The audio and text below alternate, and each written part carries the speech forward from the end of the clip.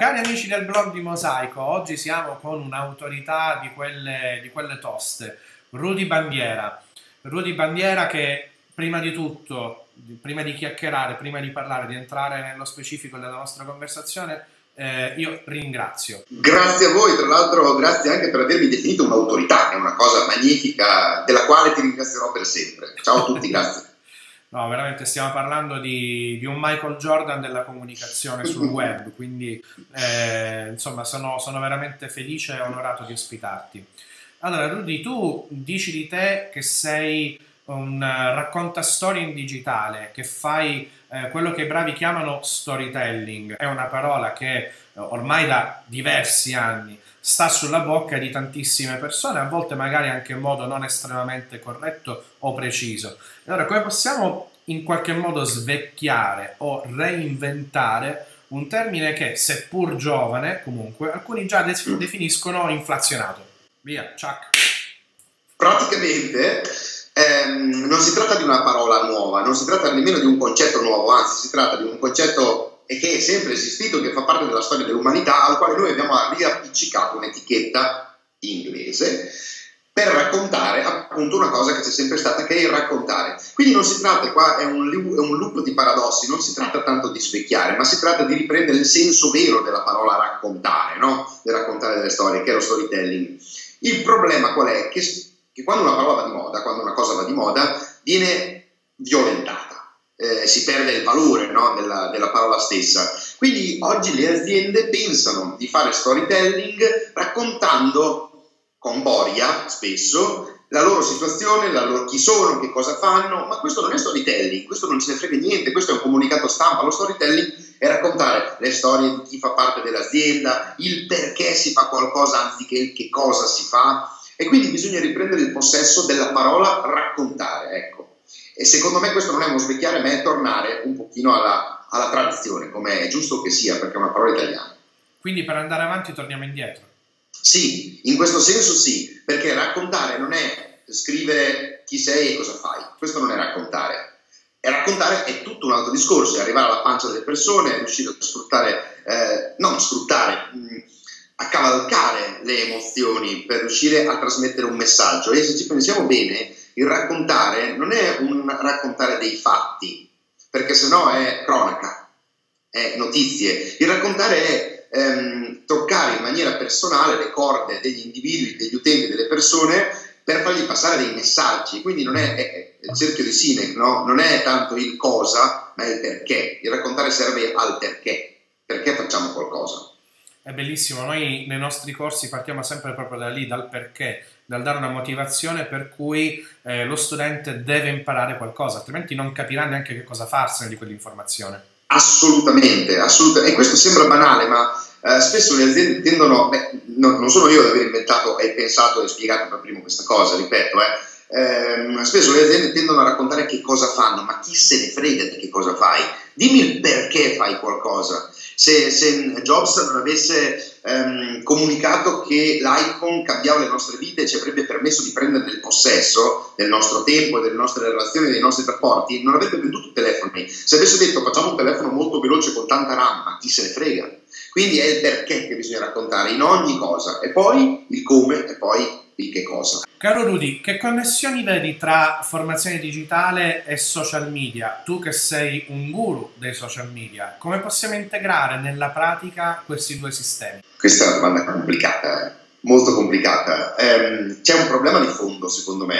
Um, nel mondo dei social media uh, non esiste una, un, non è codificato, non esiste un codice di, di passami il termine forte, di comportamento, di educazione. I social sono nati, cioè Facebook è nato nel 2004 ragazzi, siamo nel 2017, non, non abbiamo fatto in tempo a generare una, un percorso educativo di codice. Quindi cosa succede? Che siamo completamente alla mercé di quelli che fanno le cose per la prima volta, me compreso, eh? cioè io, se io, qualunque cosa noi si faccia oggi sui social è virtualmente la prima volta che si fa.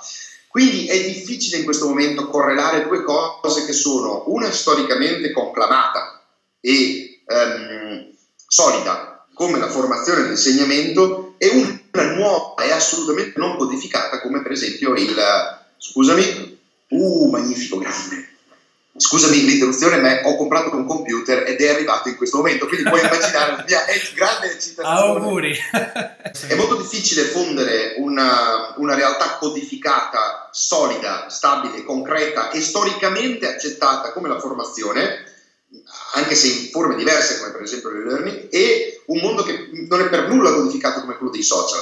Quindi vedo in questo momento è una prateria, è una prateria aperta sulla quale francamente non so quali possano essere le soluzioni eh, giuste e eh, ehm, più funzionali, perché appunto è una prateria aperta, bisogna sperimentare, bisogna sperimentare un sacco, ma è sicuramente il mondo della fusione tra queste due realtà molto plausibile per quello che riguarda il prossimo futuro. Poi sappiamo che i social sono emozionanti per loro stessa natura e abbiamo appena detto che correlare form- un'informazione a un'emozione è il modo per farla passare. Bisogna trovare il modo giusto. Se devo dire come in questo momento, mi sembra di fare il, ehm, il profeta su qualcosa che anch'io non so. Mm, mi spiego. Ultimamente sto provando 10 modi diversi per fare i video ovviamente arriva sempre qualcuno, parlo solo di video, ma eh, la stessa cosa si, si, ripete in ogni tipologia di cosa che faccio. Sperimento talmente tanto che faccio fatica a volte a capire cos'è la cosa che funziona, perché sperimento solo, capisci? La sperimentazione per sua natura serve per provare qualcosa, vedere se funziona e quindi replicarla, mentre invece io faccio fatica a replicare perché è tutto talmente nuovo e quindi faccio 10 tipologie diverse di video, uno con dei filtri, uno senza filtri, uno con lo sfondo blu, uno con la luce naturale, uno con il microfono Bluetooth, uno senza microfono, uno con l'auricolare. Ognuna di queste volte ho dei risultati migliori o peggiori, non importa, sempre diverse. L'unica cosa che rimane uguale è io, quindi il format, diciamo, sono io, e il contenuto che cerco di passare, come dicevamo in precedenza, cerco di dare delle pillole che siano chiuse, no? Cioè che ci sia un'apertura, un concetto e una chiusura del concetto. Però è la forma che cambia continuamente, continuamente, continuamente ed è difficile trovare una forma che sia ragionevolmente eh, trasversale, che possa piacere a tutti, perché ognuno trova qualcosa che non va.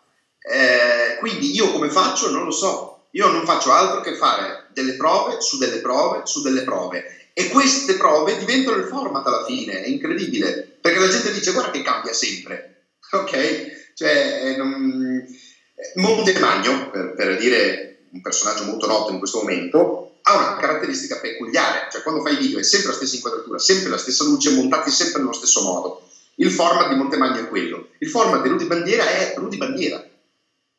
È l'unica cosa che c'è sempre. Per il resto non esiste nulla che si ripete. Giusto o sbagliato? Passano dei concetti? Secondo me sì, ma, ma non, non, non, riesco anch'io tuttora a codificare questa cosa. Hai passato, a, a, me hai passato due concetti fondamentali, reinventarsi sempre, quindi mai fare sempre la stessa cosa perché prima o poi comunque stanca, essere pionieri, cioè andare a cercare sempre la novità e guardare, guardarsi intorno, come dici tu, giudicare anche quello che fanno gli altri. La seconda cosa che è importante che mi è passato è eh, essere se stessi, cioè eh, Bravissimo. Noi, siamo formatori, eh, abbiamo una conoscenza da trasmettere e il miglior modo per farlo è guardare prima a noi stessi e a come noi stessi eh, abbiamo imparato in passato e desideriamo che gli altri imparino e quindi il valore umano in questo assume maggiore importanza rispetto a quello che poi è il mezzo, il canale tecnologico e il modo in cui lo si adopera. Aggiungo quello che hai detto per, per concludere perché è correttissimo.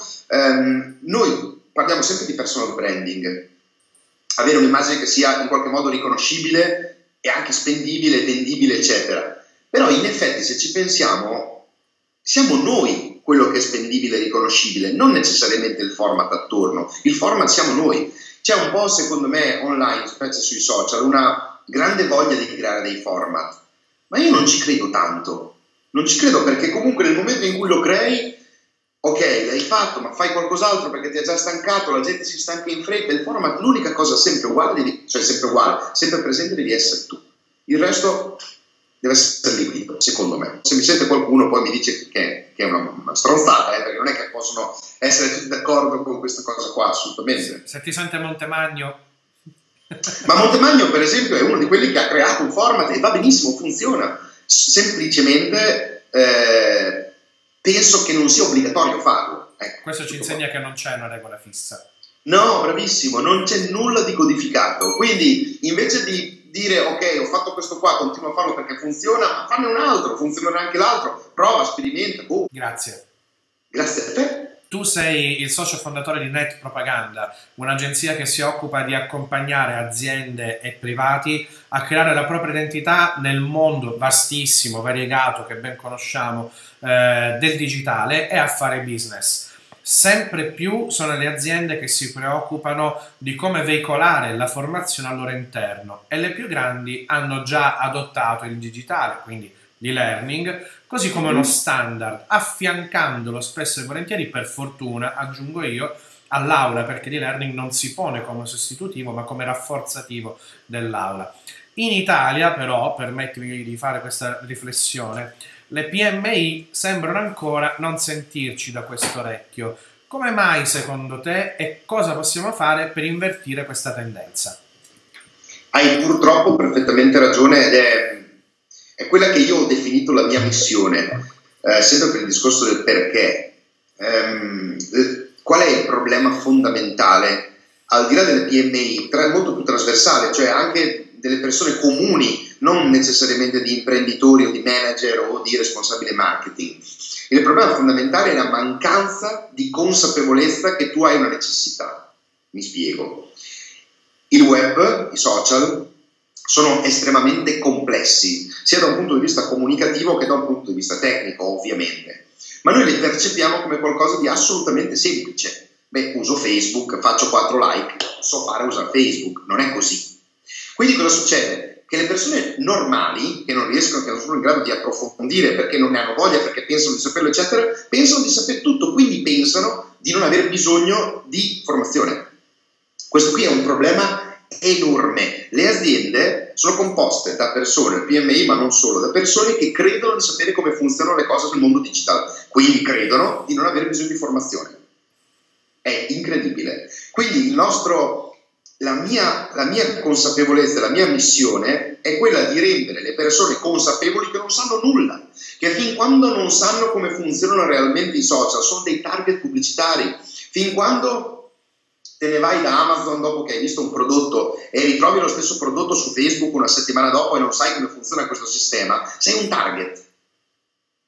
Quando le aziende capiranno, ah, allora si può fare questo, si può fare quello, ci sono un sacco di opportunità, allora si metterà in moto il volano anche della formazione.